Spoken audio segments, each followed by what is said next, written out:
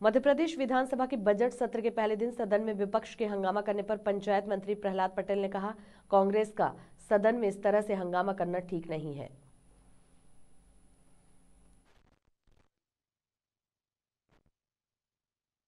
महा, महामहिम राज्यपाल के अभिभाषण पर धन्यवाद चर्चा की एक परंपरा है। और उस परंपरा में लोग अपनी राय व्यक्त कर सकते हैं और विधानसभा अध्यक्ष ने बाकायदा कहा है कि शाम सात बजे तक अगर किसी को कोई संशोधन देना है तो वो दे सकते हैं। उसके बाद अगर कोई बाहर टिप्पणी करना है तो मुझे लगता है ये ठीक नहीं।